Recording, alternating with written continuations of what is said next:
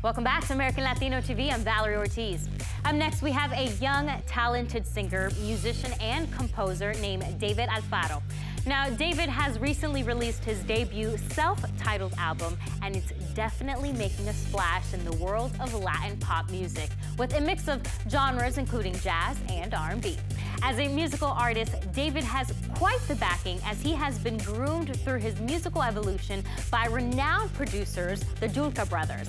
Now, after a breakthrough appearance on Telemundo's music competition series, Yo Soy Artista, David is setting out to conquer the Latin music industry, and he begins his quest right here on American Latino TV. Siempre sido para mí como el aire que respiro, en ti puedo descubrir. Hi, I'm David Alfaro, and I'm a singer-songwriter, and I'm from Los Angeles. A tu lado aprendí que el amor es verdadero. It all started when I was seven years old. Um, I saw, uh, I grew up at church in church, so my parents are really Christian. So what happened was there was a guest artist. He showed up with a hot pink guitar, and I was like, "Whoa, you know, mom, hey." I really wanted to learn how to play the guitar, but we didn't have money at the time, so, and my mom was a single parent. So she just told me, you know what, why don't you join the church choir? And I was like, all right. So I joined the church choir, and from there, everything started.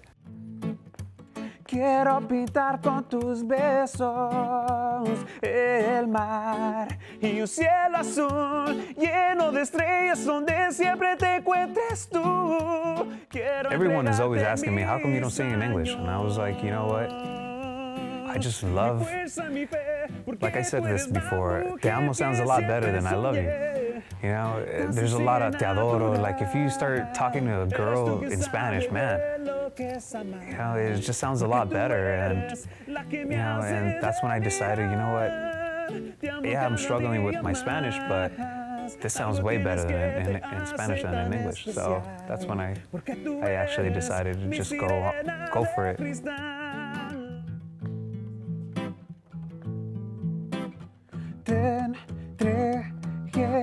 Mi corazón.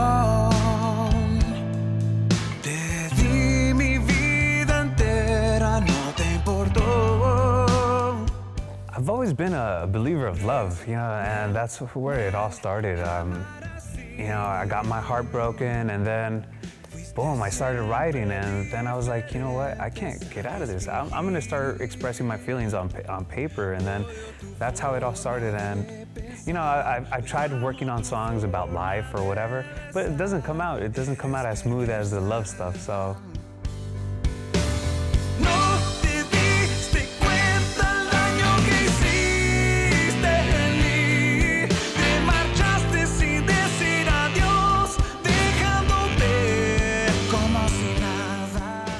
Well, I had this, you know, this beautiful chick, and she was wicked, man. She was, she was horrible.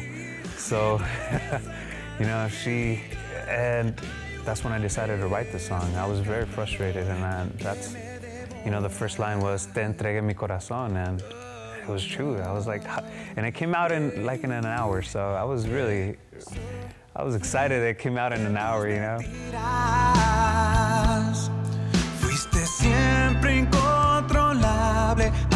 Alma suicida. What I want the music to do is I want I want to connect with people. I want to, you know, I think that's the most important part is the lyrics connecting with the people as well as with the melody. And some people, you know, uh, can't express themselves as well. So that's what I want to do. I want to try to find every possible way for myself, for, for me to just express myself for them, maybe.